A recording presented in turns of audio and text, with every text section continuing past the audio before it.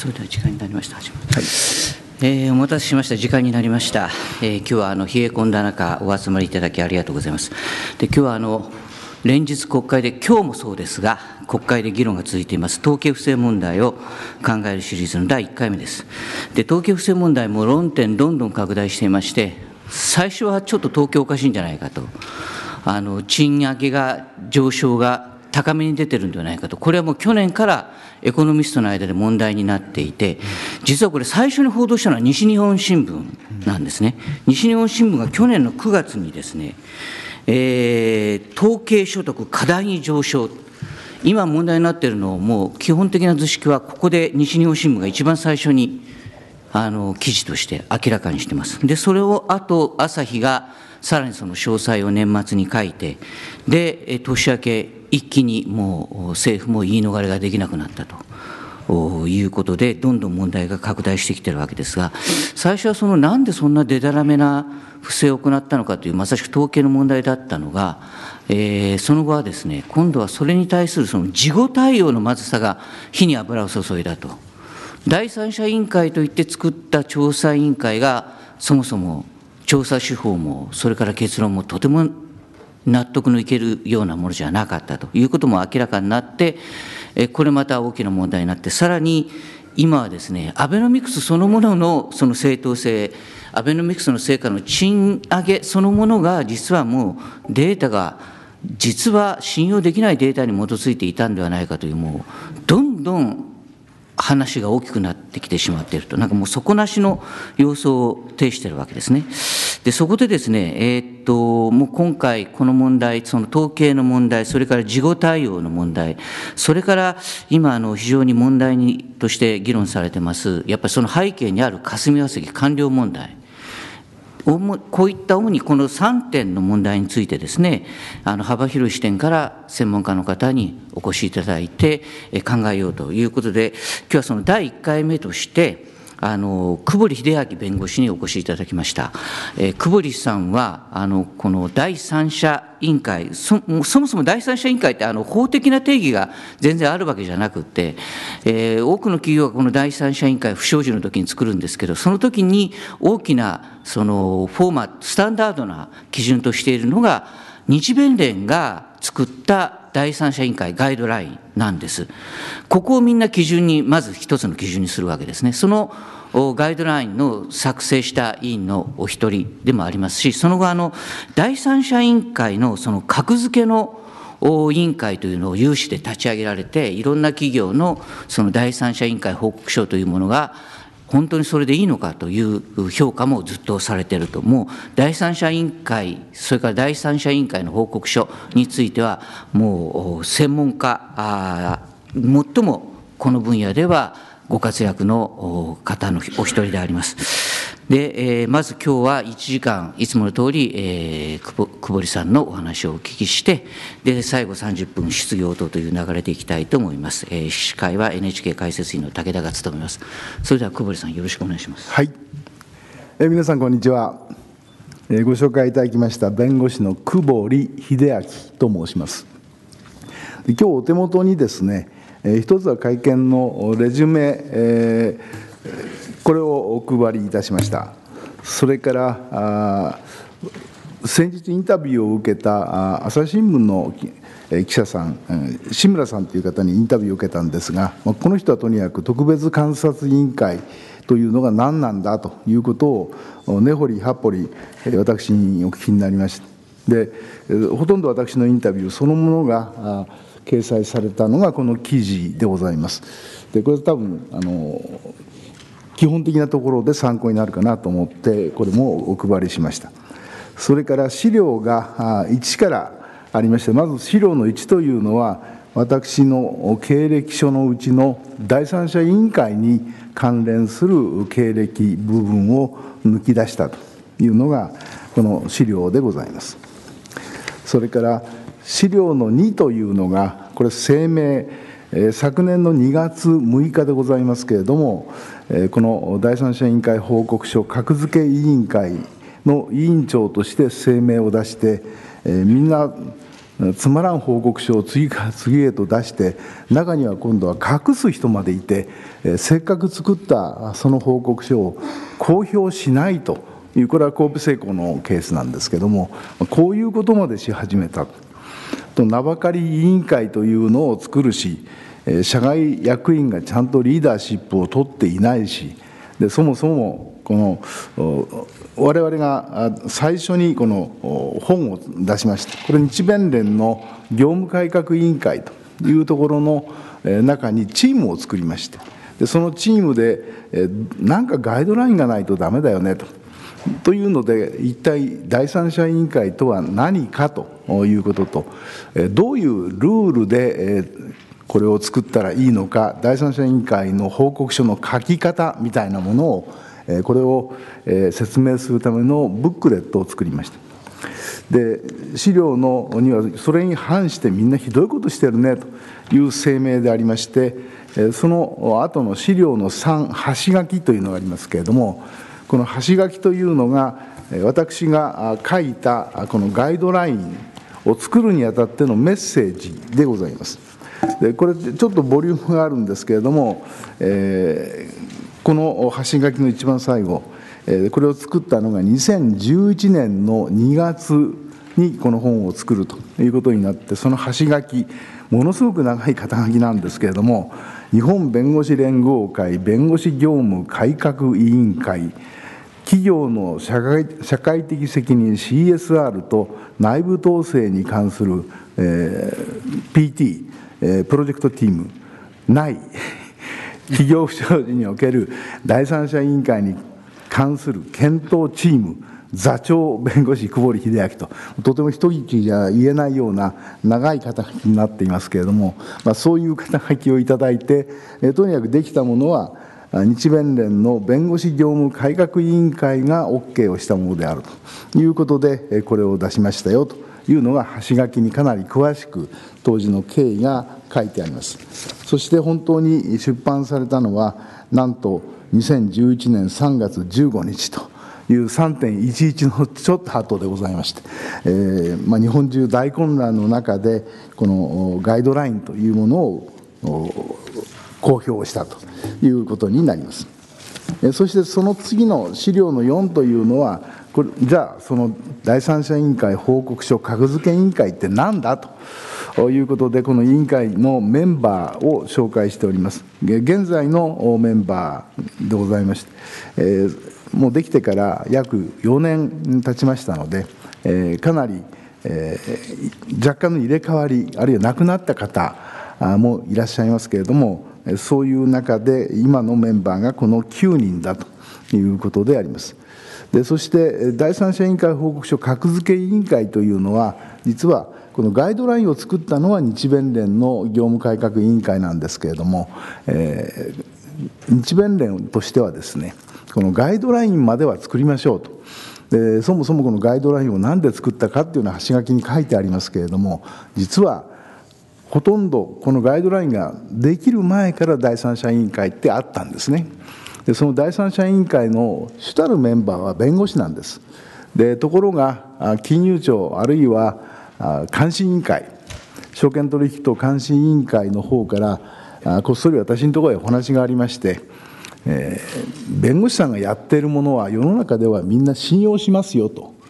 信用するんだけれども実は自分たちの目から見ているとどうも弁護士さんは誤解をしているんじゃないか。でそれは会社の代理人民事の代理人あるいは刑事の被告人の弁護人そうだと思ってこの第三者委員会っていうのをやってませんかとで普段のお仕事はもちろん、えー、弁護士というのは依頼者に寄り添って、えー、一生懸命この人を有利に運ぶとか無罪にするとかそういうことをお仕事にするのは分かるんですけれども第三者委員会ってそうじゃないんじゃないでしょうか。ということがありました。で確かに依頼者から金をもらっているように見えるけれども社長さんのポケットマネーで雇われているわけではないんですね。会社の金っていうのは誰の金なのかと。考えてみればやっぱり従業員は本来働いた分よりもちょっとしかもらってない。労働分配率100%なんて会社はないわけですから。そうすると従業員から搾取している部分があるでしょう。あるいはお客に原価割れで売ってるなんて商品はないわけですからお客様からも利得を得てますよね。当然全部株主に配当するなんて会社もないわけですから株主からも利益を取ってますよね。そう考えてくるとそれは経営者からもらうんじゃなくて会社のトータルの財産の中からもらっているお金でしょう。そうするとそのお金をもらってやる調査が社長さんをなんとか、うん、面積しようとかあるいはこの会この会社は悪くない内部統制もしっかりしてるなんてことを無理やり言うようなそういう報告書ってありえないよね。お金をもらってるからダメなんじゃなくてそのお金のもらい方というか趣旨が分かってないからそうなるんだよねということになりまして。でそこをなんとかしないと弁護士全体の評価あるいは信用が落ちますよと。まこんなふうに言われたんですね。で確かにそうだ。で考えてみたら普通の弁護士の仕事って全部依頼者の味方なんですよね。敵をやっつけて依頼者を助ける。これが弁護士の本来業務だとみんな思ってます。これ間違いじゃありません。だけど第三者委員会っていうのはもうちょっとその会社あるいは経営者を少し突き放して違う立場からこれをしっかり見直そうというのが本来の役割。すなわちオールステークホルダーのために報告をするんだ。調査をするんだ。こういうもんじゃないかというふうに思ってしたがって日弁連の中でもこの第三者委員会の委員が会社のために戦って何が悪い、捜査当局と争って何が悪いという意見がありましたけれどもいやこれは違うんですよと。まさに公認会計士さんが監査法人として会社の決算というものを見るときに会社からお金もらってるから会社の言う通りなんていうことをやったらそれこそ公認会計士の地位そのものが疑わしくなりますし監査法人潰れますよねと。そう考えてみれば違う原理でやるんだよということをしっかり知らさないと問題だと思ってこのガイドラインというのを作りました。で私どもとしては相当熱心にやってですねこのガイドラインを作りましたので、うん、さあこれができればみんな今まで誤解をしていたんだからなんとかちゃんとしたものができるだろうこう思っておりましたらばこれが公表された2011年12年13年相変わらずへんてこな第三者委員会が出てくるわけですねそれは困ったなと。ということは後で評価をしなきゃいけない格付けをしなきゃいかんだろう。でこれで日弁連にせっかくガイドラインまで作ったんだから格付けもやろうよと。日弁連の名前でやろうよと言いました、えそうしたら日弁連はですねそれはちょっと待ってくれと。なぜならば全ての弁護士が強制加入をしている団体そして国庫からは一銭の補助ももらわない補助金もなければ何にもない。そういう自主独立の自治団体である日弁連が自分のメンバーである A 弁護士の報告書はなかなか立派であるとか B さんがやったのはもう箸にも棒にもかからんとかですね。こういう評価ってしにくいよねと。ですべきでないと思うよというふうに言われて断られてしまいました。で断られてしまったけどしかしそれでほっといていいのかと。いうと今度はガイドラインを書いたそいつの責任じゃないかという声が出てまいりまして このガイドラインのを作る座長までやった久保里さんあんたが責任を取ってなんとかそういう格付け機関を作れと 言われてしまいました。まあそうじゃしょうがないからもう勝手格付け委員会を作るかと言って、えー、じゃあホームページを作らなきゃいけないしいろいろ経費もかかるしじゃあ分かったからと言って、えー、メンバーでお金を出し合ってホームページを作ってで公表するでそこで、うん、我々がやったその結論はここに公表しましょう、まあ、こんなふうになりました。ということで、いわばこの話話は長いんですけども、金融庁や監視委員会から文句を言われガイドラインを作りそれでもダメで格付け委員会を作りそれでも今度は格付け委員会から逃げるために第三者委員会と言わないようにしようとかあるいはうんもし運悪く格付け委員会に捕まりそうになったらばもう公表しないということで全部隠しちまおうじゃないかと何のためにそういう外部の委員会を作ったか分かんないようなことになってきたとこういう流れがあるわけですね。でそういう意味で、えー、我々としてはまあ、未だまだその道途中であるというふうに考えておりまして初めは格付け委員会を作って、まあ、3年も格付けをすれば、えー、相当厳しい格付けができるよね。で大体まあみんなボランティアでやってますからあそうすると年間にいくつやれるかと考えてみたら四半期に1つ3ヶ月に1つやるのが精一杯だろうと。いうことで今まで18やってきましてで今年の2月の22日の有国19個目の第三者委員会の格付けを行うことにしました。それは東京医大の不正入試この報告書が合計1時2時3時と出たもんですからこれをやりましょうと。いうことで、まあ、トータル今月中には19の報告書をチェックしたということになります。でそういう意味で私としては、まあ、それなりにやってきたんですが初めはもう3年ぐらいで終わろうよとみんな疲れるしと無給だしこれ結構大変なんです。一体どこを選ぼうかというだけでもいろんなものがあります、えー、次にそれを選んだらば中には300ページなんてやつもあるわけですね。200ページ300ページのものを読んで、えー、もう厳しい評価をするわけですから、えー、間違いがあったりするとこのバカだれ何を考えてんだとお前らの方こそ格付けを偽装してるじゃないかって言われちゃいますから一生懸命読まなきゃいけない大変なんですけれどもしかし考えてみるといまだ素晴らしいねと。いう報告書がそんなに全てになったわけではない。やっぱり問題があるねということなんで、えまだ続けましょうと。いうことでまた次の年度も頑張ろうということで2月5月8月11月というこの4回やってるんですけれどもまた2019年もやりましょうということになって多分このまんまだと20年も東京オリンピック終わってもまだやってるかもしれませんけれども、えー、少しでも早くいいものができればいいなと思っています。でそこでレジュメの方に戻りますけれども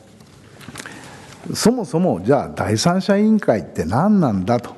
いうところから基礎的なところをちょっとお話をしたいと思います。で主としてこの第三者委員会のガイドラインをベースに我々としては考えているわけですけれども、うん、そもそも第三者委員会って何かというと、まあ、別に会社に限るわけではない、えー、団体組織、まあ、こういうものが何らかの始末をしたときにそこでその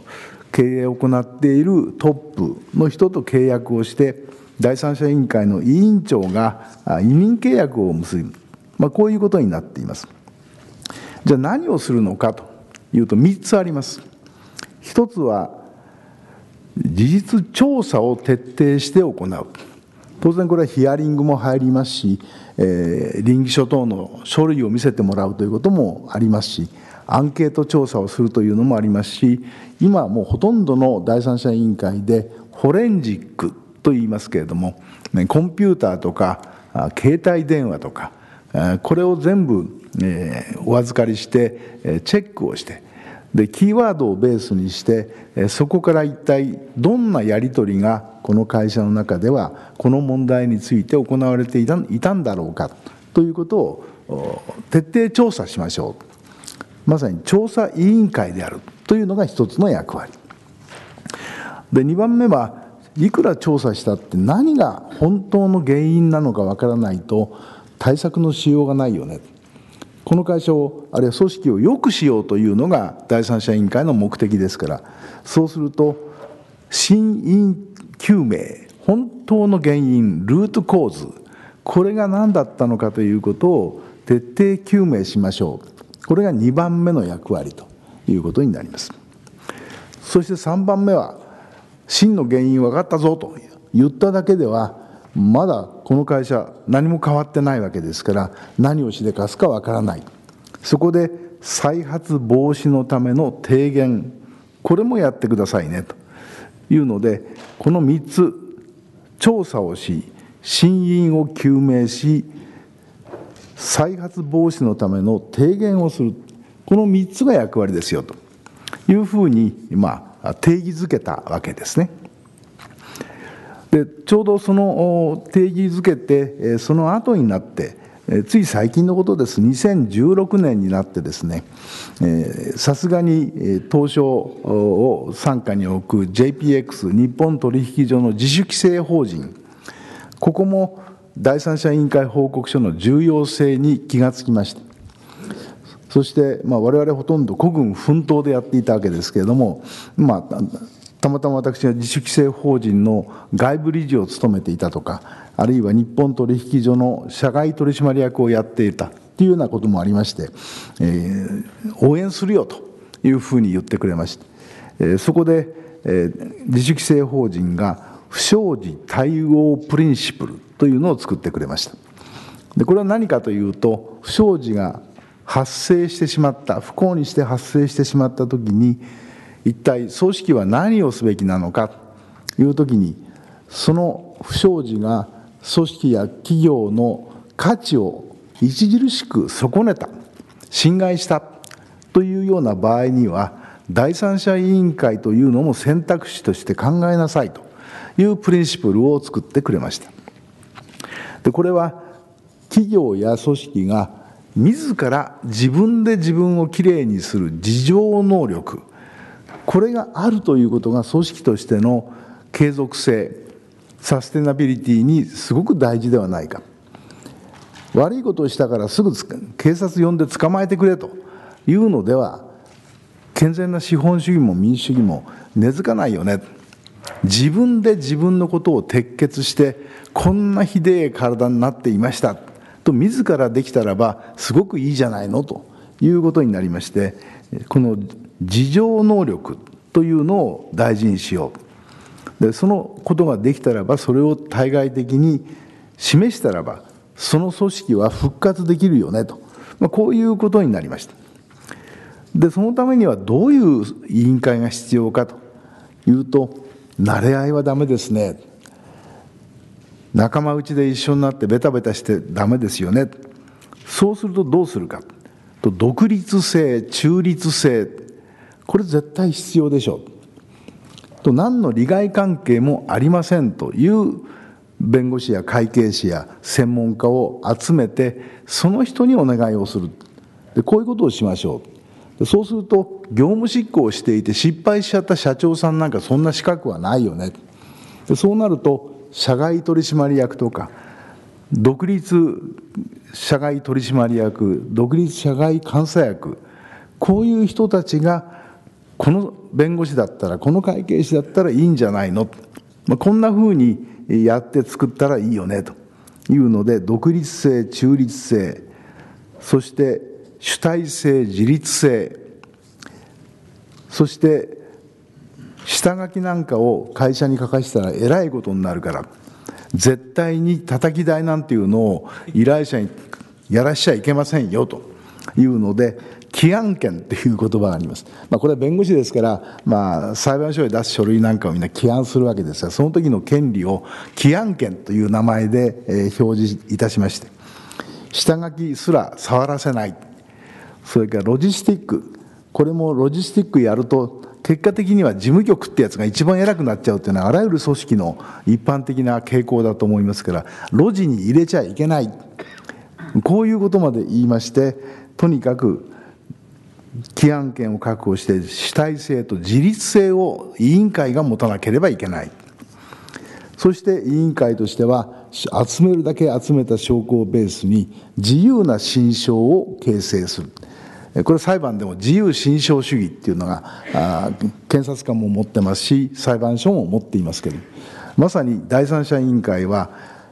あれこれ指図をされることなく依頼者に言われることなく依頼者が何と言おうと自分の自由心証に基づいて結論を断するということが必要ですねと。こんなようなことをこのガイドラインの中に書きました。でそうなってくると組織はどんな調査スコープでやってくれとか調査手法への注文とか事実認定はあそこのとこやばいからちょっと書き換えてくれとかこんなことは一切言えませんよと。なぜならば本当の依頼者は経営者じゃなくてオールステークホルダー従業員や株主や取引先やその商品を愛用している本当に会社で何が起きたか分かんなかったようなそういうユーザーたちが実は真の依頼者なんですよね。でおまけにそれにマーケット証券取引所というのの信用もかかっています。こんなわけのわからんことやってとんでもないことをするような会社が上場会社で残っているのか。まあ、だったら上場配信すればいいじゃないかっていうけどでも上場配信すると株主さんが迷惑を被るんですねその会社の株主さんがもうどこでも売れなくなってしまうし自分の持ってる株価の価値はゼロになっちゃうしそれはちょっと経営者が悪かったのに株主にその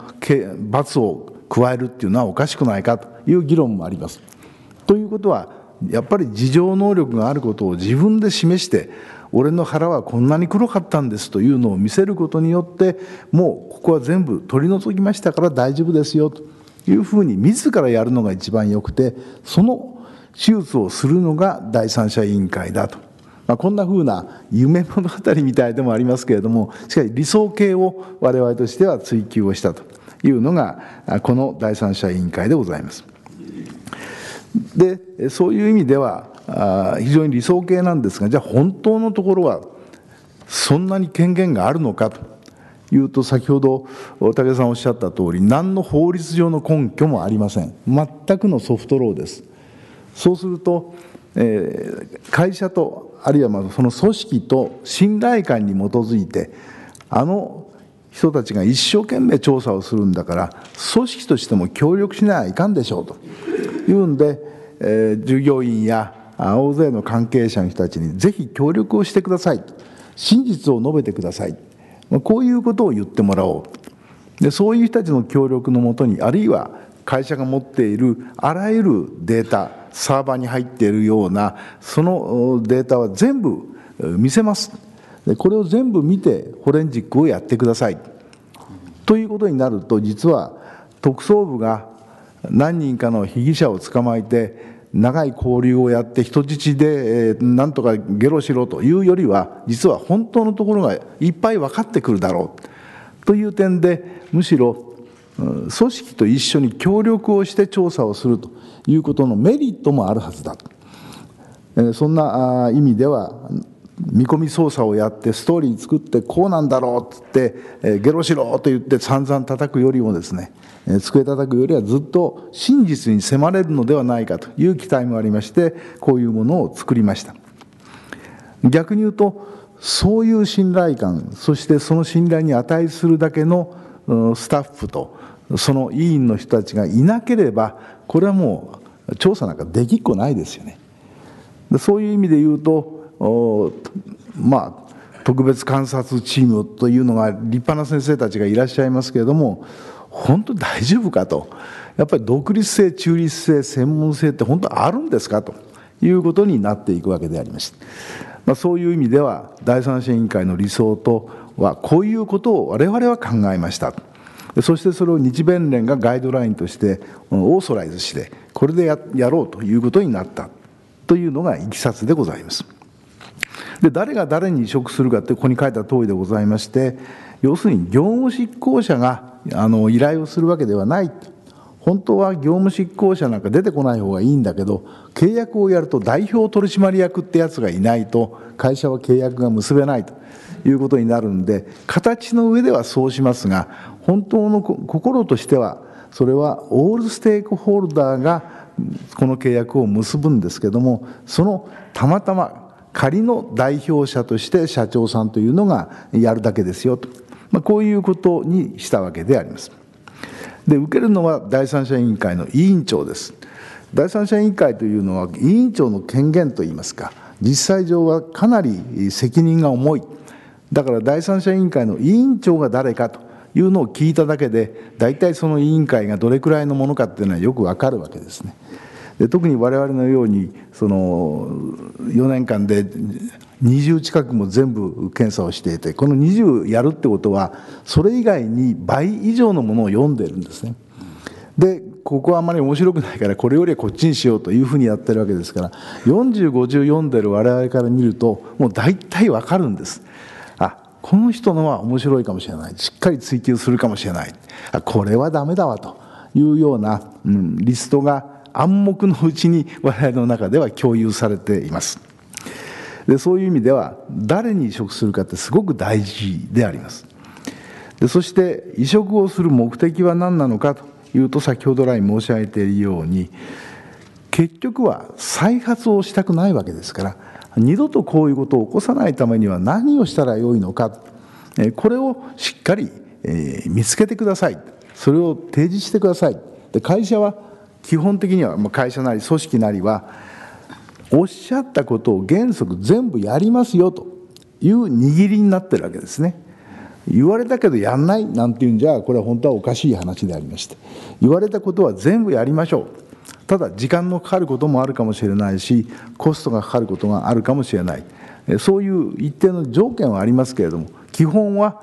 委員会がこうしなさいと言ったことは全部守りますというのが会社側のスタンスになります。逆に言うと委員会の方も会社ができっこないこと言ってもしょうがない。だけどできないかもしれないけどこれ、えー、挑戦してよというふうなことはやっぱり我々としてはあ提示をしてやれるかどうかわからないけどもそこはどうやったらやれるようになるかお互いに知恵を出し合いましょう。こんなことになります、まあ、そういう意味で我々としては少しでもいい第三者委員会をの報告書を出したいと、まあ、そういう意味で言うと監査法人とかなり似ていると思います。監査法人はやっぱりダメなものはダメといい、えー、いいものはいいといい。で監査法人の場合には提言はしませんよね、えー、監査法人はもう評価をするだけ。でとてもじゃないけどまともじゃないという評価になるのか。あこれでいいでしょうということになるのか。で第三者委員会だからもっと難しくって、これでいいでしょうなんてことはまあなかなかないわけですから。しかもどんなことをやったらいいんでしょうかということは会社の方がむしろ詳しいかもしれない。そうなってくると第三者委員会と会社で共同して力を合わせて御社のこういう状況では何をしたらいいだろうか。ディスカッションもしなきゃいけない。だそういう意味ではいくつかの第三者委員会の中であの最初の調査の結果と本当の原因真因ここまでは前半として出しますと。ただし3番目の提言についてはもうちょっと時間をくださいと。言って、えー、後編の分は別編で提出をします。という報告書もあります。これはあ、まあ、やむを得ないことだというふうに私は思っていますし私も委員で参画したアクリフーズという会社の従業員臨時従業員が農薬を冷凍食品の中に入れちゃったという事件では原因は分かりました。だけどじゃあこういう事件を防ぐためには何をしたらいいんだろうか。これなかなかいろんなアイデアがあって難しかったのでそれは第2弾ということで対策については別途切り離して提言をしました。でその提言を作る時には会社のトップとえー、本当にじっくりと話をしました。でそしたらすごい案が出てまいりました、えー、トップが言うにはこの失敗はホールディングスを作ったことにある。結局、えー、マルハそして日露この2つが統合するという時にマルハニチロホールディングスという会社を作りました。でこれが一番頭にありますけどもこの頭といったってここ空っぽなんですね。実際は全部2つのマルハという会社と日露という会社が2つが動いている。でアクリフーズというのはこの日露食品の下にぶら下がったホールディングスからすればまあ孫会社みたいなもんです。でここについては品質保証部はあるんだけれども十分の機能を発揮しなかったしお客様サービスセンターも十分機能が発揮できなかった。人間が少なかったからですね。でそこで彼らはどうしたか。考えに考えた結果ホールディングスやめちまおうということになりました。そしてマルハと日露とこれを全部一緒にガラガラポンで統合し合ってこれでいわば事業持ち株会社にしましょう。自ら事業をしながら持ち株にします。でアクリフーズもこの中に入れちまいましょう。他に自分の参加会社で上場していた会社これも統合しちゃいましょう。というまさにドラスティックな案を作りました。でそうすると品質保証をやっている人たちが4つも5つもの会社からみんな集まりますから大きな品質保証部が作れます。お客様相談部もスタッフが非常に潤沢にいます。そうすると組織が大きくなるとその組織の力が強くなるんですね。今までは品質保証部というのはどちらかというとどんどんどんどん分断されていって非常にみんな言うことを聞いてくれなかった。ところが品質保証部という新しい大きな部ができてそこの責任者は常務さんかなんかになったんですね。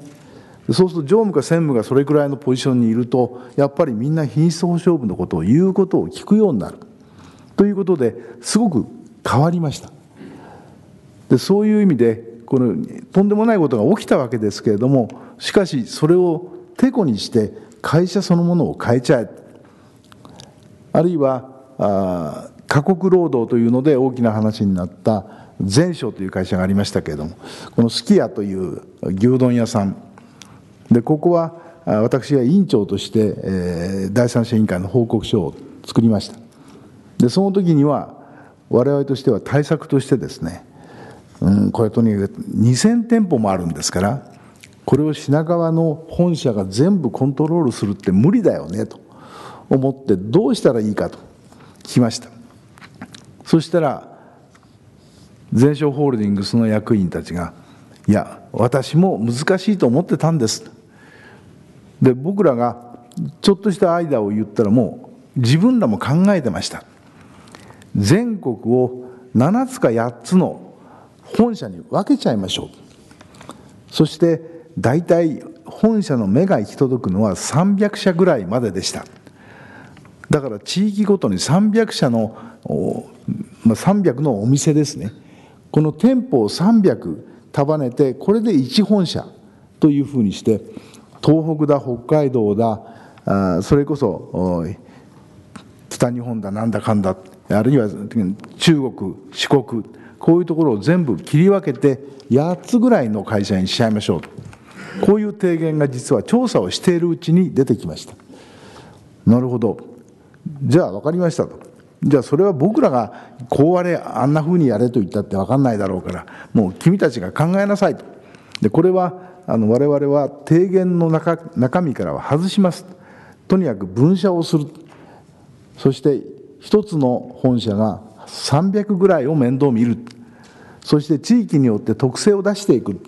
そういう経営方針だというのは分かったのでその具体的中身はちゃんと自分らで考えてやってよねと。でただし報告書ができた時にはこんなふうにやりますというのを皆さん方がお客さんや株主や従業員にちゃんと約束できるようにしてくださいというので実は彼らはあっという間にそれをどんどんどんどん進めて本当に報告書ができて公表した時には8つの本社があってそれぞれに300ぐらい250から300ぐらいの店がくっつくこういうスキームを作りました。で現にそれが動き始めました、まあ、そういう意味で、えー、ある意味では経営者と一緒にやんなきゃいけないんだけども経営者に忖度して優しいことを言ってちゃダメなんですね。えっと驚くくらいの厳しいことを言わなければいけない。そして2ページで移植費用は誰が負担するかこれ会社でございますけれども。しかしそれは会社がその計算としては負担するけれども実際はオールステークホルダーが負担するんですよ。企業価値の維持回復のための株主の共同費用というふうに考えてくださいね。ということになります。みんなこの第三者委員会やるっていうといやえれいコストがかかるんだろうと。えどこどこでは10億円かかったそうじゃないか。ってなことをおっしゃいますが、え確かに10億かかった会社もあるように聞いてます。だけど私が前章でやったケースっていうのは1億円はかかっていません。フォレンジックも全部入れて数千万円で終わっています。一番小さいところだと1000万円ぐらいでできます。だけど会社が本当にもう危機存亡の時にある時にこの1000万円で会社が本当に信頼回復ができたらば安いもんじゃないかと僕は思うんですね。でそれは久保利さんもらう方だからね安いのあんのって言ってるけど高いよっていうふうに言う人もいます。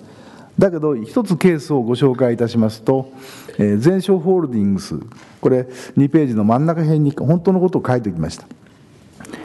第三者委員会の調査。これが入る頃すなわち不祥事が起きた時時価総額が約1000億円から1200億円ぐらい。これくらいの価値がありました。だけどこの事件が起きたせいで、えー、少し目減りをしたんですね。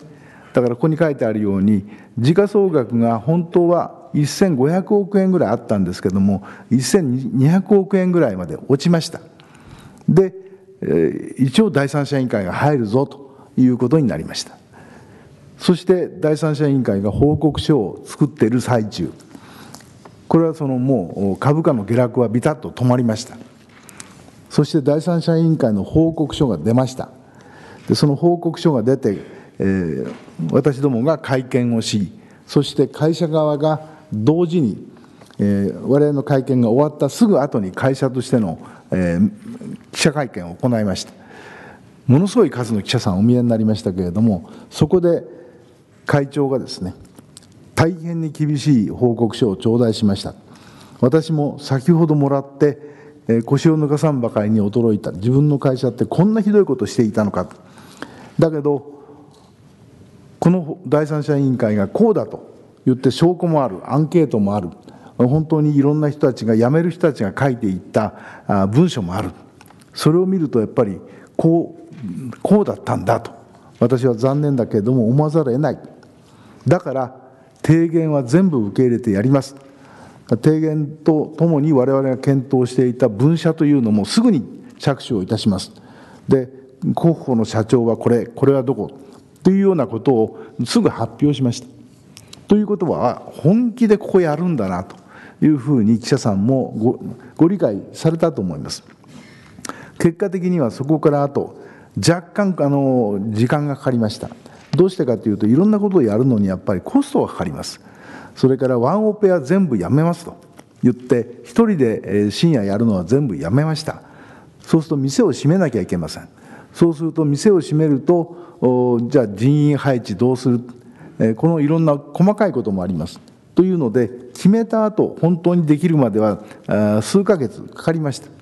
でもこれ本当に始まったんですね。で本当にそういうことになった結果ですねどうなったか。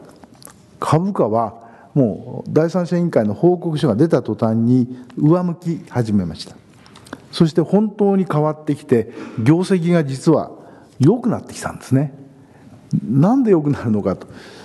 賃金上げたんですよね。と賃金を上げるということはどういう意味があるかっていうと実はその時まで大変な苦労をして、え、シフトを考えたり、え、店長をいろんなところへ貼り付けたりいろんな無理をしていて。でうつ病になる人もいれば体を壊す人もいるっていうのがいなくなった。でそうなってくると実は労働組合も大変喜んでこれだったらば自分の友達誘ってこられますよということになってすごい高い金をかけて人員募集をするんじゃなくてどんどん従業員の友達がまた入ってくれるようになってきた。そういう意味で実は従業員の補充がすごくしやすくなってきて逆に店はちゃんとフルに開けられるようになってきた。そしてワンオペしないで済むようになって2人体制でやれるようになっていった。業績はどんどん上がります。ということで1500億円ぐらいの時価総額だったのがあっという間に2000億円になって2500億円になって倍の3000億円になるまでに1年ちょっとぐらいしかかかりませんでした。ということはフォレンジックを含めて我々のコストが1億円はかかってませんから7、8000万ですよね。それに対して時価総額が倍になって1500億円増えたんですよね。オール株主からしてみたらば、これはいいやという感じになります。しかもここは創業者会長というのがおりましてこの人が実は発行済み株式総数の2割以上持っていました。2割ということは1500億の時には300億円の時価総額を自分は持ってた。それが倍になって3000億円になった。600億円の金持ちになっちゃったんですね。でとんでもないあの不始末を起こしましたけどもその結果それを全部きれいに自浄作用として直したということで自分の財産が増えた。なんか第三者委員会利得みたいなもんですねと いうふうに私言われたことあります。で久保利さんも株でももらったんですかって？冗談じゃない。第三者委員会は独立性と中立性が生命ですからそんなもん一切もらってませんし成功報酬なんてものも全くもらってませんよ。タイムチャージでやるだけで僕はタイムチャージは非常に高いんですけどもこういう第三者委員会のお仕事っていうのは大体その金額の半額ぐらいでやってるんですね。だそういう意味で言うと全然僕は儲かってないただあのやっぱりそういう牛丼屋さんのチェーンがちゃんと一つ復活をした。そしてそのファンの人たちが「いやー店が開いてよかった」と言って食べてくれたらそれはそれでとってもいいことだよねと僕は思いました、まあ、そういう意味で会計士さんも必要です。しいろんなことは必要ですけれども、まあ、苦労はいろいろ絶えないというのは実態でございます。まあ、そういう意味で、えー、例えば路地がどうだとかあるいは従業員を使っていいのかと今回の特別監察委員会のお話でも、えー、なんか調査をされなきゃいけない人が調査する側に座っちゃったりしてるわけですよね。官房長なんていう方は。でそれって全く何を考え違いしてるのか分かりません。それから第三者委員会の委員長さんって大変立派な方だそうですけれどもしかし自分が外郭団体の理事長さんもしておられてその外郭団体には二十数億の補助金が出ている。でいやだけどちょっと感覚が違うなと思うのは普通は例えば顧問弁護士をやっていたら絶対その会社の委員長なんかやりませんよね。知り合いであってもやりませんよね。子会社の顧問をしていてもやりませんよね。それが自分がトップをやってる会社が組織がその補助金というのを二十何億もらっていて自分が利害関係がない第三者だと思うその発想ってどこから来るんだろうか僕には理解できない。ということは第三者委員会を全く分かっていないか補助金というものは利害関係とは関係がない話だというふうにご理解になっているか僕には理解しがたいしでそれを出している方の役所があんた第三者委員会の委員長やってくださいっていうこともこれ理解できません。だけど官房長が調べる側に回っちゃってるっていうんだから、まあ、それもあり得るのかなと。ただあまりにもレベルが低いのでさすがに第三者委員会っていうのを作る時にはガイドラインぐらい読んでくださいというふうに本の宣伝ぐらいしたくなりますよね。そういう意味でまあ一般的にはこの職員とか従業員というのは基本は使いません。でここにも書いたようには一定の手当をした上でやることはありますけれどもここにも書いたように私も厚労省の第三者委員会の調査っていうのをやったことありますけれどもその時には野村修也さんが委員長でこの時には厚労省や社保庁の職員を用いることは一切しませんでした。そして部屋は一部屋厚労省の中にこの調査委員会の部屋を作りましたけどもこの鍵は野村委員長が持っていて一切ロジスティックも何も全部野村先生の事務所の若い弁護士さんにやってもらいました。だから厚労省は知ってるはずなんですよね。これが今から10年ぐらい前の話です。その時の歴史もちゃんと持ってないんだとすると統計なんてやれる資格がないよねと思うくらい実はお粗末だよねというふうに僕は思います。まあ、そういうことで調査期間については2ヶ月は最低必要、まあ、3ヶ月から4ヶ月かかっちゃうこともあるよねと思います。で3ページに入りますけども、まあ、報告書の開示の問題、えー、ここにざっと書いておきました。すなわち著作権とか規範権というのは第三者委員会に帰属するんで、えー、頼んだ役所であるとか会社であるとかにあるわけではありません。だからこう書いてくれああ書いてくれはできませんしじゃあ叩き台は私が作りましょうなんてことも絶対ご法度です。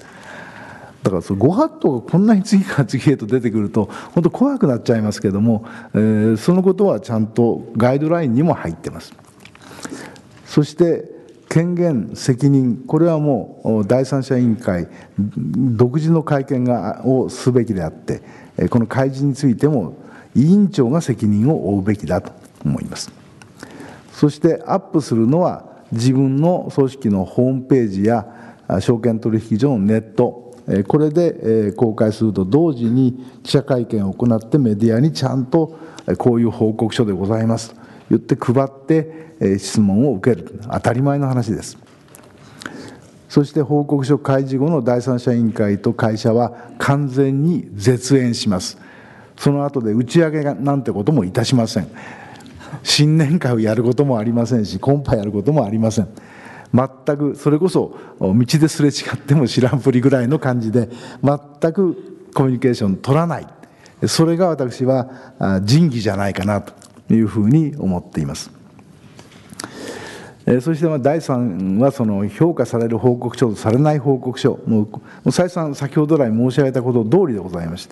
てそれをここから1番から6番まで書いてあります。これが全部できてれば評価される報告書でございますしできなければ評価されない報告書ということにならざるを得ない。格付け委員会はこのガイドラインをベースにしてそういう評価をしております。それが第4でありましてこれはもう資料の2資料の4を読んでいただければ分かる通りでありまして、えー、さらに深く知りたい方はこのホームページをにアクセスしていただいて第三者委員会格付けとやって検索をすると必ずこの委員会が出てまいります。そういう意味ではあまあ2014年の4月からスタートいたしましてちょうどもう5年経つわけですけれどもそういう委員会が、まあ、18も19も取り上げてもなかなか変わってこないというのは弁護士が悪いのかあ頼む方が悪いのか両方悪いのか分かりませんけれども、まあ、非常に残念だなというふうに思っています。はい私の方からのご説明といいますか、えー、レクはこの程度にいたしまして、あとは皆さん方からご質問を頂戴したいあと35分ほど40分近くありますけれどもそのようなことにしたいと思いますのでどうぞよろしくお願いいたしますご清聴ありがとうございました。えー、ありがとうございました。えー、っと私の方から何点か聞かせさせていただきたいんですが、あの今回このあの特別監察委員会が問題になって、はい、で特にその内部の調査だけがああの大半を占めていたとか先ほどから久保利さんが何度も指摘されてますけれどもなんとそのナンバー2、3官房長を含めてですねナンバー2、3の人たちが人事権持ってる人たちが実際そのヒアリングに当たっていたということも全部分かった上でそのをそれを問題にするその記者の取材に対してですねやはりその一番私は違和感を持ったのがあの城塚官房長がその今回その疑義を持たれたことについてはあの反省していますというようなことを言いながらやっぱり基本的なところで全然そう思ってないんだなと思うのはその後に出てくる言葉がいやこれはあの厚労省の人間が聞いた方がちゃんと分かるので厚労省の人間がそのヒアリングに入っているということは自然なことだと思います。っていうことをきちっと反論として言われてるんですね。それからもう一つ、私、国会答弁の中でもう、これ、やっぱり分かってないのかなと思ったのは、今度は大臣です。大臣がですね、えー、この第三者委員会として作ったと大臣は言ってるけども、中立性、独立性、著しく問題あるじゃないかという野党側の質問に対して、その時大臣は何と言ったかというと、第三者性を強調しすぎた。と答えたんですね。そこを反省してるんだと。ということは、第三者性というのを強調しなかったら、今回の調査でよかったのかということに逆に捉えられてしまうわけですよね。あの本来ならあの第三者性が重要なのにそこに追いつかなかった実態がそこに行けなかったことを反省するっていう答弁にならなきゃいけないのに第三者性を強調しすぎたと今になると思うっていうことを言われてるんです。いずれにしても結局みんなあの国会答弁でもそれから記者の質問でもあのかなり批判されているのでそれについては反省をしますなりあの遺憾だと思いますっていうことは言うんだけど結局のところはやっぱり第三者委員会っていうのは全然その役所ベースで全くその理解をされていない何が今日小堀さんにお聞きしたように第三者委員会には何が必要なのかっていうことが根本的に誰も役所ベースでは理解してないんじゃないかと思うんですけどもこれどう思われますか、うん、基本的にはね第三者委員会っていうのはみんな何を期待しているか。我々は本当の真実が知りたい。何が本当の原因だったか知りたいと思ってらっしゃるというふうに私は思っています。おそらく皆さん方もそう思ってらっしゃると思います。ところがそういう健全な神経持ってる会社は不祥事を起こさないんですよね。不祥事を起こしてインチキの品物を納めてもいいだろうとかあいやその統計なんてどうせまあ誤差の範囲でいろんなことがあるから、まあ、何でもいいやと、こういういい加減な発想しかしない人がそういう不祥事を起こすんですね、で起こした人が結局第三者委員会作りますから第三者委員会に彼らが期待しているのは隠れ蓑なんです。徹底調査をして不正を撤血してこれでオープンにしてこの組織を根本的に変えていきましょうってなことは期待してないんですよ。なるだから隠れ蓑にしたいからなるべく自分の、まあ、意思が通じるような人を第三者委員会の委員長にしたいとか、うん、まあだから結局はそういうことをしたいのでこうしたんだけどもいろんなことが暴露されてきてどうもそうでないということになってしまった分かってしまった。それは大臣としてもああそんなんだったら初めから第三者委員会ってあんまり言わなきゃよかったなという率直な気持ちがあるんだと思います。でも第三者委員会って言わなきゃ世の中の人は納得しないんですよ。独立性中立性が強い人たちが調べるんだからこれでいいでしょとだから絶対矛盾なんですよ。隠れ蓑になるためにはその人が立派な蓑を着て隠してくんなきゃいけないのにその蓑がなんかどんどん剥がれてきてですねああだったらあんまり立派な蓑着てるって言わなきゃよかったっていう話なんだと僕は思いますね。なるほど、はいであと一点、私あの、これも違和感感じるのはあの、特別監察委員会が最初、あの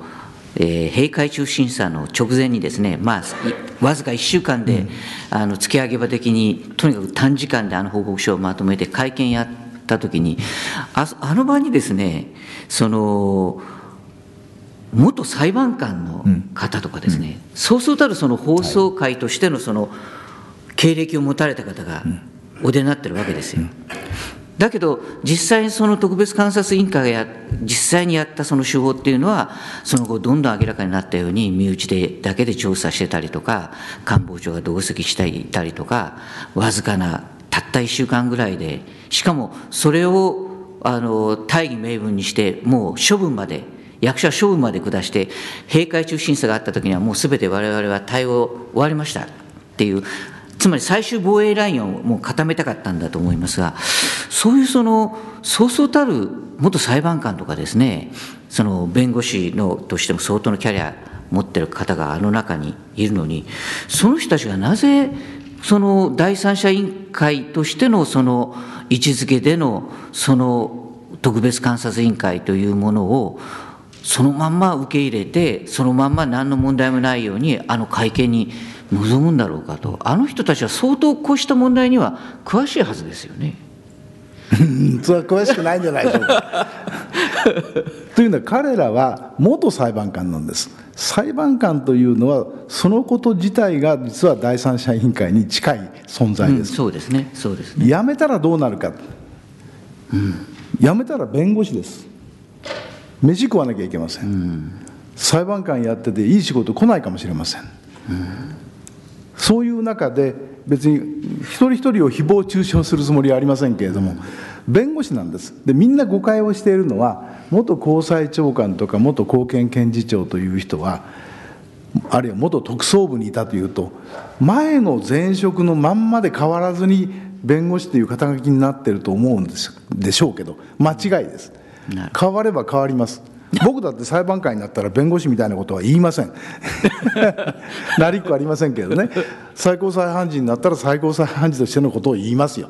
それはみんなその肩書きに応じた自分の役割を演じているわけですから、そうすると元裁判官というのは裁判官ではないってことです。元特捜ということは特捜ではないってことです。でそういう人たちがしかも特捜には特捜部の若い優秀な検事もいるしあるいは警察っていうものも自由に使えます、うん、手足が自由です、だから彼がその権限があるんだったら第三者委員会なんか頼まない特捜に頼みゃいいわけですね。だからそういう意味で言うと裁判官をいくらやっていても実は第三者委員会の経験がほとんどないのではないでしょうか、うん第三者委員会というのは先ほど来申し上げたように弁護士の普段の仕事とも違うし裁判官の仕事とも違うし、だって裁判官って独立だよとか中立だよってそんな死のもの言わなくたってみんな知ってるよと。あんたが贈収賄なんかしたら大変なことになるよと。いうのはみんな分かってるわけですから、そういう意味では元はあの現とは違うっていうことですよね。なるほど、うんであの今後のことについてもちょっとお聞きしたいんですけどその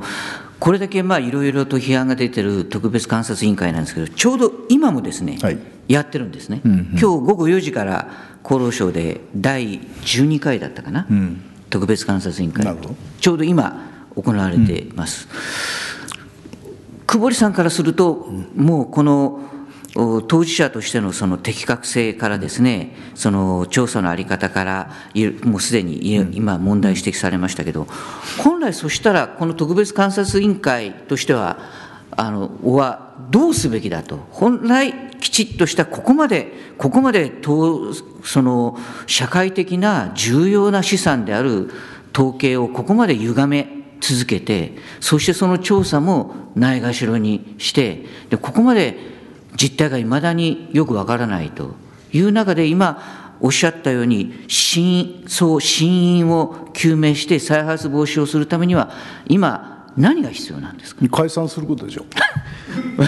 この特別監察事由っていうのはもう意味がないですよ、うん、だって委員長がその補助金もらってた団体のトップだったっていうんだからもうそれだけでアウトですよね、うんでそれ以外の裁判官とかいろんな人たちも「えー、官房長がヒアリングしあのしてる？そんなの認めた？それダメでしょ」と。いうことであらゆる点から考えてこれはもう第三者委員会適格性がないですよね。なるほど。その組織がいくら頑張ったってあの今度は一生懸命心入れ替えてやりますと言ったってそれはちょっと別の話にしてこの特別監察チームがなぜこうなったか第三者委員会を別途作ってくださいというくらいの話ですよね。なるほど。とても第三者委員会をやれるようなあ器ではないと僕は思いますね。だもうそれは早く諦めてじゃあどういうふうにしたら真実に追求ができるのか。それを工夫した方が早いと思いますよ。なるほど。あの先ほどあのかつてのあの消えた年金の時の、はい、あのケースあの野村修也さんが、はい。はい、あのヘッドを務められて、あのケースあなるほどなと思ったんですけどかつてはここまで厳格にやったわけですね。それは委員長が厳格にやりかつその委員長のもとにいたのが私と国広弁護士と郷原弁護士だったんですでみんなで野村さんを押し立ててそれはそんな恥ずかしい委員会だったら俺は辞めるよと。みんなが言うわけですから野村先生もしゃかりきになって鍵は俺が預かるとかこういうことまでやれたわけですね。だから第三者委員会のメンバーの人たちがそういうふうに言えば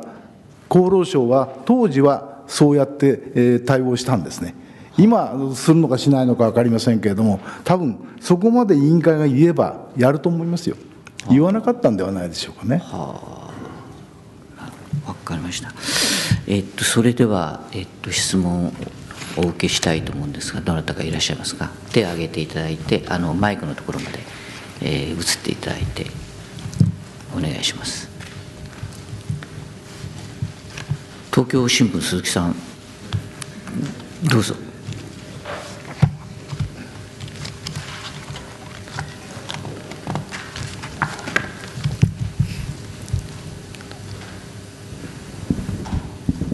えっと、東京新聞の鈴木と申します。あの今日はありがとうございました。えっともう一つ伺いたいのはあの年金の時も総務省にあの委員会を作りましたけども、まあ、今回もあの毎月金の統計ではなくて、えー、賃金構造基本調査の方かな、うんうん、で、まあ、作りますよと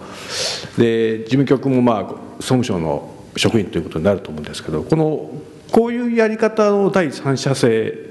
の、まあ、問題点というか担保性はどんなふうに見ればよろしいんでしょうか？まあ、総務省があの厚労省でないことは分かりますけれども 同じ官僚であることは間違いないわけででそういう意味ではあの厚労省でなければ第三者性があるとは必ずしも言えないと思います。でそれから逆に言うと総務省がどういう権限で、えー、その第三者委員会をやれるのか例えば統計省みたいなやつがあってですね、統計問題についてはもう全部ここでやるんだよというようなそういう割り振りになってれば違うかもしれませんが総務省の人だからそれでいいのか要するにその行政についての評価をするそういうのは総務省にあるからそれでいいんだとか。だけどそれって結局はまあ委員長次第なところもありますよね。だからむしろ早くだその第三者委員会はどういう人が委員長になって誰が委員になってどう組み立ててその事務局を総務省がやりますと。言って初めてあそのコンビなら大丈夫だろうというふうになるのか。いややっぱり怪しいと。いうことになるのか。だからそこはあの個別性が出てくるとは思いますけどただ一般的には役所が不祥事を起こした時に役所の別の部局の人が出てくるから これでよろしかろうって話には普通はならないような気がしますね。だから僕は一番独立性が高いっていうのはかつてあの原発事故の時にやりましたけども国会事故庁というのを作りましたね。はいはい、でむしろこの統計問題にしても偽装にしても被害を受けているのは実は国民でありその前段階としては国会なんですよね。国会が非常にその立法府として行政府から軽んじられてインチキの統計を見せられている。だったら何が起きたんだというのは立法府がやるよというふうにいくのが論理的には必然だろうと。ただどこへ行ったって同じだよとみんな結局議員内閣制だからみんなつるんでるから同じなんだと言われたらさ国の信用がもう地に落ちてるということになってしまうのでそれをまどういうふうに誰が救済するか。だからあの国会事故調の報告書というのはあの黒川先生が委員長をお務めになりましたけれども僕はいろんな自己調ができたけどその中では比較的立派な方ではないかなというふうに思っています。だからそういう意味ではあのあの方式を超党派で終わりになって彼らが委員になるんじゃなくてそのなったその委員が誰にやってもらおうというのを選べばであとは路地を担当するような事務職員がいてということをやるんであって本来僕はこの何て言いますかね特別監察チームも私たちはやりませんよと。私たちが選んだ立派な第三者委員会に詳しい弁護士たちにお任せしましょうと言ったらこんな間違いにならなかったんですよね、彼らは第三者委員会じゃないんですよ本来、第三者委員会を選ぶそれぐらいの距離はありますから役人が選ぶよりはいいでしょうと言って作るそういう関係であったんではないかなと僕は思いますね。みんなね自分でやりたがってよくないんですよ。なるほど、はいいやあの今あのあのその東京新聞鈴木さんから言われたその質問あの重要な点だと思うんですけどあの今回そのまさしく総務省がその賃金構造の部分については調べると。毎月勤労統計は今のまま特別監察委員会がやるんだけど賃金構造の方は総務省の方で調べると言ってるんですけど昔あのそのまさしく年金消えた年金問題の時に、あの総務省がやっぱりあの時出てきて、何をやったかっていうとあの時はあの総務省がその記録の復活、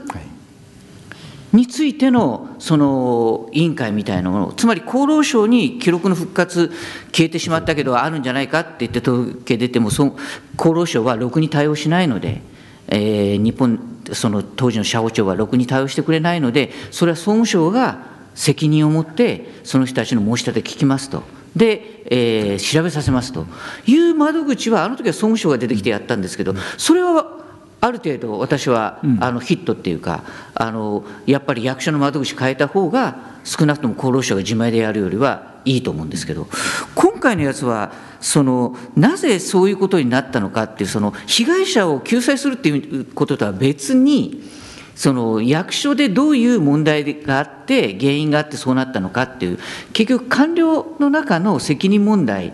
を今度は総務省がやるっていうわけで、やっぱりこうなると、同じ官僚として棚心が当然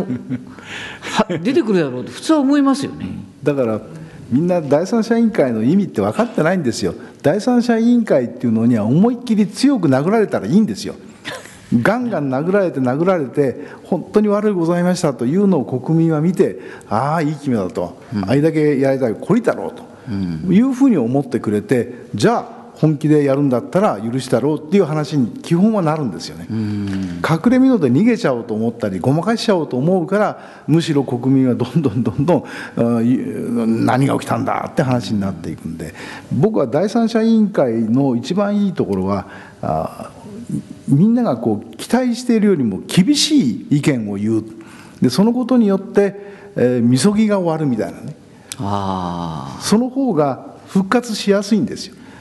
眼目はうんその信用を回復するところにあるんですから。あ、なるほど。だからそういう意味で言うと自分のお自由になりそうなそういう人たちを選んで第三者委員会ですなんていうことを言えばあああいつら全然本気で反省してないなと。こう思われちゃうんですよね。だからみんな発想が逆だと思いますよ。思いっきり厳しい人にやられた方がいいんですよなんかこう身を捨ててこそ浮かぶせばあおっしゃる通りです。そうです。そんな話ですそうです。で本当にだけど誰もねその役所を殺そうとは思ってないんですよ。本当の意味で殺そうとは。だから反省をしましたこういう再発防止策をきっちりやりますと。で人間も、まあ、処分なら処分でいいんですけども要するにきっちりとしたことで上まで処分をしましてこれ全部メンバー変えました。で後で国会審議があるならどうぞみんな聞いてくださいと参考に出てきますよというぐらいにやりゃいいのに隠そう隠そうっていうのがあるからあの人は出てこないとかそういう話になっちゃうじゃないですか。で自民党がその人には聞かないなんてことやるからやっぱり政治家も一緒になってやってんだとこういう話になってものすごい不利な振る舞いだと僕は思いますね。それであとその一点お聞きしたかったのはあのこれ例えば欧米ではこのこれはどういう話になってるんですか？この第三者委員会っていうのは、あの海外の場合はですね第三者委員会という制度はあんまりありません、えーそれはほとんどが会社の取締役会でえー選任をして取締役会がお願いをします。でその取締役っていうのが日本と違うわけですね。要するに社外の人ばっかりなんです。要するに会社で一番偉い人って日本で聞くとみんな社長って言いますけども海外の会社でおお宅の会社で誰が一番偉いの？っていうとボードメンバーすなわち取締役会メンバーで取締役会議長が一番偉いという声が出てきますね。でそういう意味で言うと日本の取締役会とは全く違うのでしたがって日本では取締役会で選びましたと言っただけでは信用感がないんですよ。みんな社長の子分じゃないかそうです。だってみんな本当にその子分でないと取締役にならないんですからだアメリカでは11人もし取締役がいれば CEO 以外の10人は全員が社外の人ですよね。で社外のプロフェッショナルであったり社外の経営者であったりそういう人たちが自分のお立場としてこれは株主から頼まれている話だから株主の代理人としてどうやったらいいかということをやるわけですからそれは公明正大になってきますよね。なでもちろんどっかの事務所に頼みますだけどそのどっかの事務所はその会社から頼まれたのは何かそう調査真因究明再発防止のためのうん提案それをやりますよ。そういうことをやるのはちゃんとアメリカにもあります。それはアメリカの法律事務所がやります。だこれは日本のに比べればずっと高いですけどね、あなるほど、ええ、ずっと高いけどやります。結局やっぱりあのかねてから問題のコーポレートガバナンスの話になってくるわけそうなんです。はい。そうするとやっぱりその会社のそのはまあ、コーポレートガバナンスもうはっきり言えば日本にとってコーポレートガバナンスっていうのはもう取締役会改革おっしゃる通りです。ですよね。ですから、とにかく取締役会が何を取り締まるのか、それは社長を取り締まるのが取締役会なんだけど、はいはい、社長の古文集団が日本の場合は取締役会と。おっしゃる通りです。だから社長っていうのは、ちょっと日本も使い方を間違えているんで、僕はあれは会社の長ではなくて、社員の長だというふうに理解をすべきだと。だ社員の中では一番偉いでしょと。だけど、一番偉いのは株主で、株主から任命を受けている取締役社外取締役が一番偉いんですよというふうに考え直せば社長なんて言葉はどうせ英語ではないんですからね。あれは社員の長なんだと。だってまさに英語でやって CEO ってそうじゃないですか。なるほど。チチーフでしょ？でエグゼクティブでしょ？オフィサーでしょ？オフィサーって社員ってことですよ、はい、従業員ですよ。なるほどそうやって考えると必然的にじゃあ今回そのその会社の場合には今のような、はい、そのいかにも日本企業の取締役会の特殊性があってだから第三者委員会というのを作らなきゃその中立性独立性客観性のあるものが出てこないということになるんでしょうがそれ役所にそれを置き換えてみるとそしたらやっぱりやこういう問題が起きでここまで統計不正という大変な問題が起きた以上はもう役所じゃなくてその国会、はい、私先ほどおっしゃったけど本来その株主を代表するつまり国民を代表する国会が出っ張ってこないとそうです。いけないっていう論理構成になってきます、はい、と思いますね。だからそれは逆に言うと何党だからどうだって話じゃなくて国民から信託受けている付託されているこの国の在り姿がどうなのかっていう正しい統計を本当にこれで俺たちは自信を持って予算審議ができるのかということを全国会議員が真剣に考えたらああそれは大変だ俺たちがしっかりチェックしなきゃってなると思うんですよね。それにならないのは通り通略としか思えないですよね。なるほど。だからそういう意味では真剣に考えている政治家はすごくこれ心を揺れてやっぱりこれ立法府が何とかしないといかんのじゃないのと思うべきテーマだと思います。スキャンダルとか何とかとは違いますからねこれ。なるほど。なるほど。であとその今後そのどうするかのもう一点。あちらで手が挙がってます。あそうですか。どうぞ。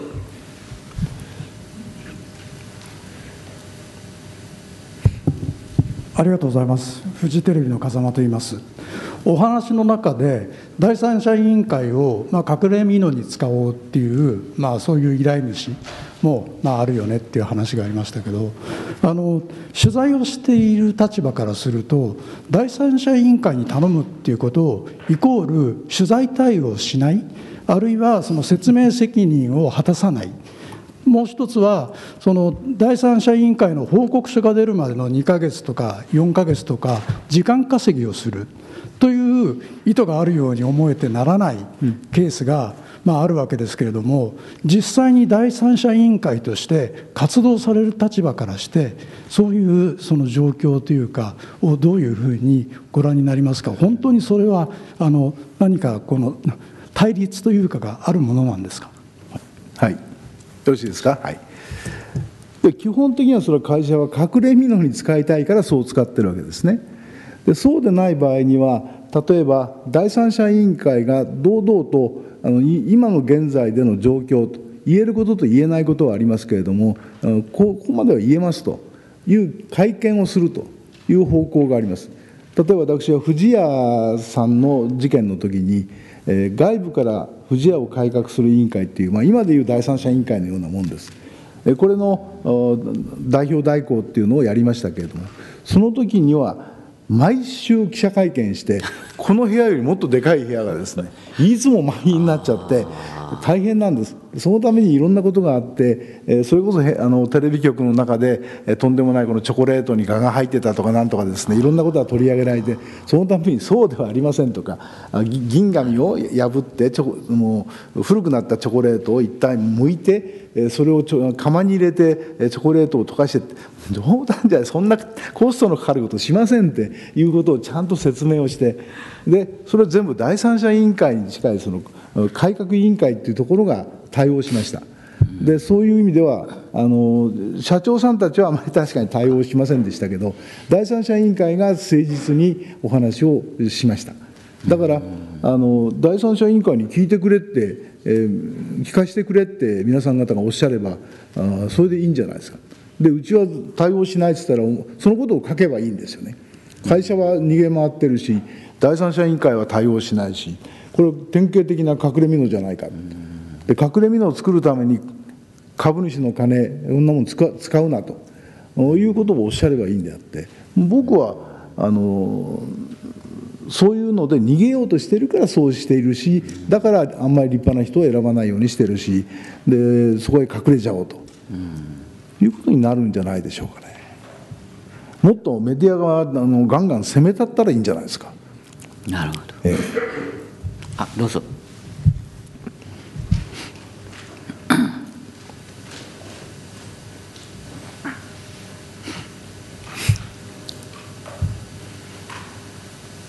お話ありがとうございました。あの個人会員の小林と申します。あの先ほどから伺ってますとですね、ちょっと別の視点からお伺いしたいんですが、日本という国が本当に善悪の区別がつかなくなってですねそして悪いことをしたら罰せられるというようなことも全くもうない社会になりつつあるのかと。で先ほどちょっと久保利さんがあのお話になったあの原原発の時の事故調ある委員長がですねこういうふうにおっしゃいました。これだけの世界にもうないような例がないような深刻な事故を起こしながら誰も罰せられないと。いうことはないでしょうと。いうことをおっしゃったんですがそれ以降全く罰せられていません。そして誰もそれを問おうとしません。ここういう社会なんですね日本は。でまあ長い長くなって恐縮なんですがこれは昔からなんですか？それとも、えー、今日の現象なのか？あるいは、えー、外国から見たらどうなのかということをちょっと教えてください。はいまあ、原発の件はあの河合弁護士が一生懸命、えー、事件として掘り起こして今刑事事件としてあのやってますけれどもまあ罰せられるかどうかは分かりませんけれども基本的にはあのこの国のあのそういう罰する姿勢というかペナルティをちゃんと課するというのはすごく今弱くなっていると思います。例えば特捜は今ゴーンさん一生懸命やってますけども基本的に特捜の発想っていうのは99.99%有罪になる事件しか取り上げないと。そうすると起訴してみなきゃわからないっていうことはいっぱいあるわけですけども、結局そういう事件を取り上げないと怪しいという事件。例えばあ証券取引と監視委員会がぜひ起訴をしてくれというふうに言っていた東芝のケースなんかは特捜が拒否をして起訴しないわけですね。そうすると刑事罰という一番強い、そういうパワーを持っているところが99.99%有罪でなければやらないなんてことになると大半のことはやれてしまうんですね、無罰になってしまうんです。じゃあ民事訴訟を起こすか？という話になってじゃあその民事訴訟で、えー、どこまで勝てるか？この国にはデポジションもなければディスカバリーもないしそしてディスクロージャーをする制度がないしそして弁護士の数もたった4万人しかいませんからよその国は大体4500人国民4500人に1人の弁護士がいるんだけど日本では3000数百人にの国民に1人しか弁護士がいないでこういう中で、えー、本当に証拠を集める力が、うん、弁護士の側にあるかというとなかなか勝てないですよね。で会社の方はいろんなことを考えながら逃げてしまうそういう意味ではおっしゃる通り本当にあのいい加減な国になってきてるというふうに私も思います。で僕の友達はこの間平成三原則っていうのを言っていまして平成三原則って何？っつったら今だけ金だけ俺だけっていうこれが今の風潮なんで従って、えー、久保みたいにあの正義だとかあ公だとか公共性だとかなんてことを言ってると平成から取り残されるよというんでもうそれは大いに結構な話で平成終わりますからいいんですけども、うん、でも次はもっと悪くなるかもしれないというリスクもあって本当にまあ残念なことだなと。いうふうには思いますだから、まあ、その中でやれることだけはやっていこうというのでこの格付け委員会なんてこんなのやると絶対損するわけですよ格付けしてるのは全部相手は弁護士ですから弁護士にしてみたら自分のビジネスを僕に妨害されてるみたいに思ってですね久保になるはけしからんと別に僕がビジネスやってるわけじゃないんだけども自分のビジネスにちょっかい出してきてると。っていうのは現実に大きな事務所にとっては今第三者委員会ビジネスっていうのはすごく意味があるんですね。すなわち大勢の30人50人という若手を何ヶ月間かぶち込めるわけですから、そのタイムチャージたりは大変な金額になるんで、うそうすると、まあ、今デューディリジェンスなんていうのがすごく少なくなって日本企業同士の激しい M&A って少なくなってますから、そうするとビジネスやるチャンスがなかったものがこの第三者委員会ビジネスっていうので、えー、少し潤い始めたのをなんか久保里はそういうものをビジネスオンリーでいかんというふうなことを言ってるだからこの目障りでしょうがないなというふうに批判も来るわけですね。だけどそういう批判が来てもこれは弁護士のビジネスのためにやってるわけではないのでやっぱり公明正大に多くの人たちのために役に立つような報告書を出していただければそれは褒めるわけですからだからそういうふうに考え違いをしないでいただきたいと思うんですがまあなかなかあだから得なことはないんですよこの格付け委員会やって。だけど少しでも社会に、いい第三者委員会がこう出てくればそれは多分経済界にしても、えー、公務員にしても良くなるだろうと思ってやってるだけの話であって、まあ、こういうところでお話ししてるのも実はそういう意味なんですけどね。それを理解をしていただけたら大変嬉しいと思います。あどうぞ。えっと、読売新聞出身のジャーナリストの河野と申します。あの国会の話がちょっと出てましたけどあの久保利先生おっしゃったようにあの一番の被害者は国民であり国会であると。で散々国会が馬鹿にされていると、まあ、国政調査権もそうだし国会審議でそんな嘘をあの平気でずっと言ってきたってことはどうなんだと思うんですけどなんかこう政局にすぐなってしまってるような感じがしてですねすごい国会自体のあるいは国会議員のまあ、特に与党の怒りが少ないんじゃないかっていう感じがどうも一般のこう見てるあの人間からするとすごくするんですけども。で特にあの今回その統計が間違ったことによっていろいろ是正をしていくとなると税金がまた無駄に使われるわけで、まあ、非常にその税金を納めてる側からするとふざけるなって感じがするんですがその辺のところはどういう感触をお持ちですか？いやもう全くおっしゃる通りだと思いますよ。でただね残念なのは制度上ですねあの会社については会社の役員については代表訴訟っていうのがありますね。で株主が会社に損を与えたと言って役員に対して訴訟が起こせるんですね。でところが今回のこの厚労省のようなケースでお前がちょんぼなことやるから意味のない調査を散々やったしこれからも金がかかるよね。じゃあ厚労省の役員に対して、えー、国家賠償できるかというと国賠というのは国が全部代わって受けるのでで従って、えー、一人一人の役人には請求できないということになっていてだから国民代表訴訟みたいなやつはないんですね。でしかもそれ国に勝ったって国が損したのを国がまた払ってどうするんだって話になりますから意味がないですよね。ということは要するにその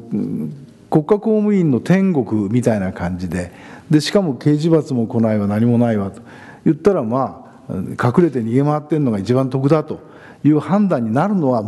無理からないというか理解はしますよね。でもそんな国なんですよ。だから何とかしなきゃいけないというのでせめて国会議員ぐらいは頑張ってもらうかあるいは国民が頑張ってそれこそ何をやれるか。こういうことだと思いますね。おっしゃる通りだと思います。はいそれではそろそろ時間が来ました。えっと今日も久保利さんにはですね記号をしたためていただいております。えー、ではこれを久保利さんご自身ちょっと読み上げていただいて。はい、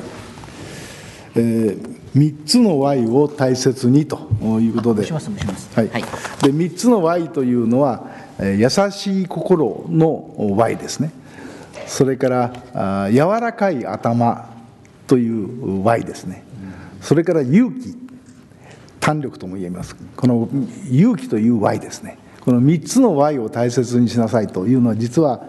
私の師匠のであるその弁護士さんが私に教えてくれました。で私はそれを大宮ロースクール法科大学院というのを作った時に大宮の学生たちにこれをまあ私の遺言と思って、えー肝に銘じていてくれと、えー必ず優しい心そして、えー勇気があって柔らかい頭これを持っていれば弁護士として人角の人物にはなれるからねと、まあ、いうふうにメッセージをずっと伝えてきて多分記者さんもそうだと思うんですね、記者というのはやっぱり優しい心なきゃダメですけどもだけど勇気がなきゃダメだしそして柔らかい頭で一体この事実は何なんだというふうに分析するその力というのも弁護士と同じように必要なんだと思うので、まあ、今日はあえて、えー記者クラブで皆さん方に、えーこの言葉を差し上げたいと思います。いやあの肝に銘じたいと思います。えーっとそれでは最後に記念品ですが、えーっと久保利さん、はいちょっと意外ですが、た一番地味なあの色のネクタイをお選びになりました。はい、ありがとうございます。どうもありがとうございました。私のこういうのと比べていくともう必然的に で裏地もこうですからだからもうもうこれしかないという感じで頂戴しますありがとうございます